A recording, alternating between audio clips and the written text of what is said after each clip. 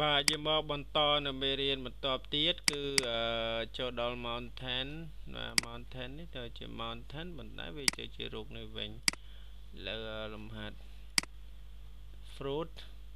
fruit នេះដូចជាមិនទាន់ទេបាទអូខេ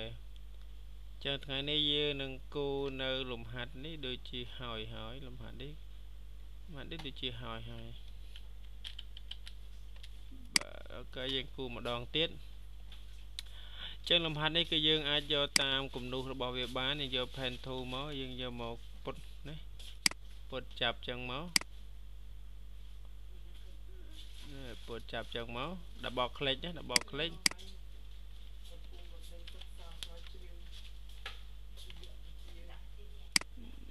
នេះដបคลิกយើងចឹងមកនេះ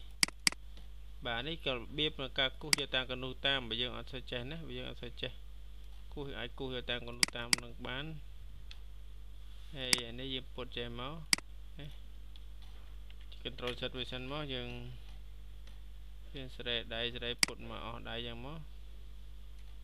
បាទរបស់ click ជា control លេខដកដើម្បីវារួមបាទនេះឡើងយ៉ាងមកនេះ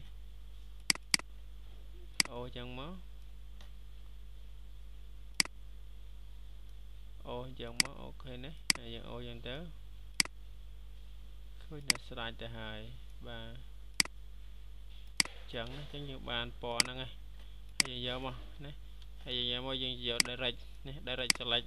ហើយយើងចុចទៅហើយយើងយកកន្លែងណាកោងកន្លែងណាមូឲ្យវាស្អាតអញ្ចឹងទៅណានេះបាទ control set វិញមកបើតែវាអត់ស្អាត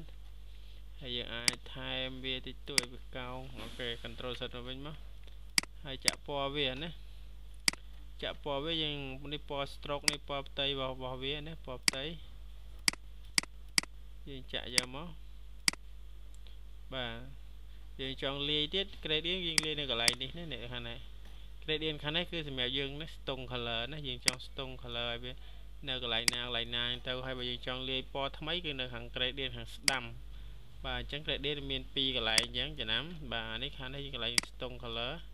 ហើយយើងស្ទង់ខាងនេះគឺវាអាចជំនួសខាងនេះបានណាបាទហើយយើងដោះទាត់ពីក្រៅចេញទៅហើយយើងចង់បានអឺ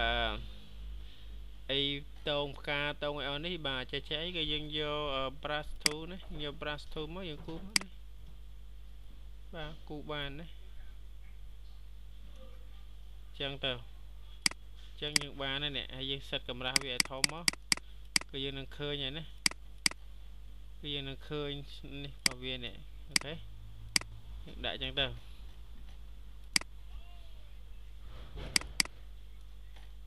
បាទនេះចង់ដាក់ឲ្យធំធំឲ្យតូចតូចទៅយើងដាក់បានណាយើងដោះផ្ទៃវាចេញទៅយើងទុកតែ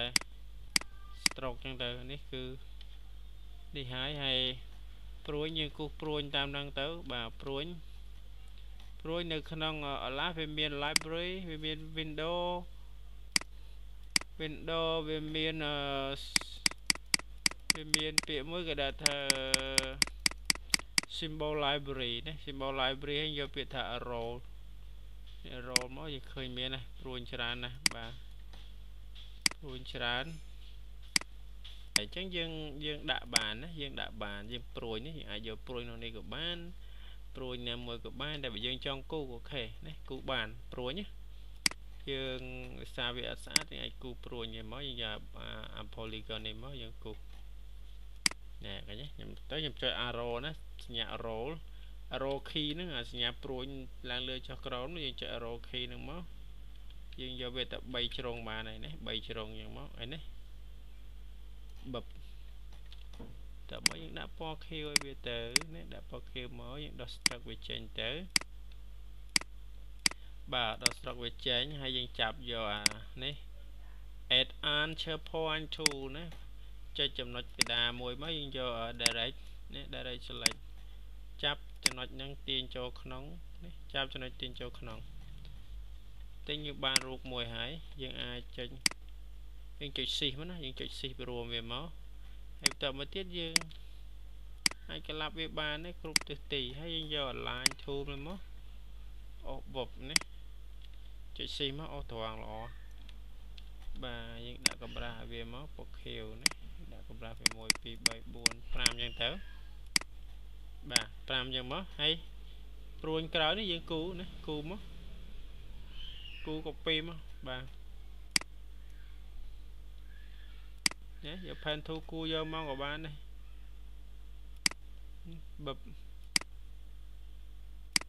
បឹប បាច់ pen tool ក៏បាននេះប្រើ line តែហ្មងទៅលឿនហ្នឹងយើងប្រើ line គូទៅហើយយើង copy វាមក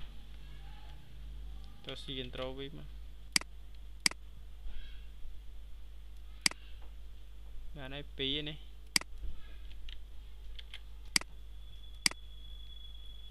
3ហ្នឹងទៅបាទ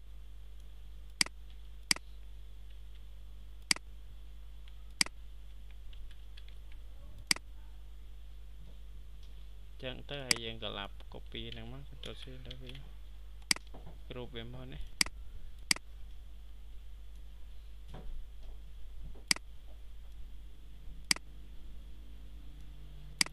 transform transform ដាក់មុំប៉ុន្មានណាបង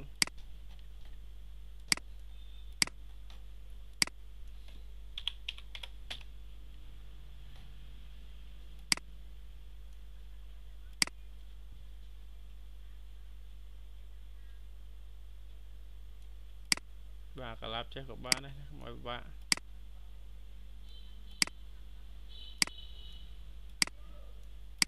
បាទអញ្ចឹងទៅនិយាយទៅយើងអាចឆ្នៃបានអាហ្នឹងណាយើងឆ្នៃតាមយើងទៅមកគូម្ដងមួយមួយវ៉ស្មើគូមកយើងអានេះគឺពលាចូលគ្នាទាំងអស់ណាខ្ញុំខ្ញុំលានេះជាមួយទៅអានគ្រប់មកនេះគឺរូបនេះគឺយើង combine ចូលគ្នាអស់ហើយនេះនេះ make compound មកណា គឺរូបនេះគឺលាចូលគ្នាអូខេអញ្ចឹងយើងអាចឆ្នៃបានហើយចំពោះស្លឹកឈើនេះក៏អញ្ចឹងដែរគឺយើងយក brush មកគូមកគូចាក់ពណ៌យើងគូអញ្ចឹងទៅនេះគឺបានរៀងស្លឹកឈើហើយអញ្ចឹងណាហ្នឹងគេគូអញ្ចឹងអញ្ចឹងទៅបានហើយគេអញ្ចឹងលំហាត់នេះសិនតែមកថាចប់ប៉ុណ្ណេះបាទហើយយើងនឹងតាមដាននៅវីដេអូបន្តទៀតអរគុណ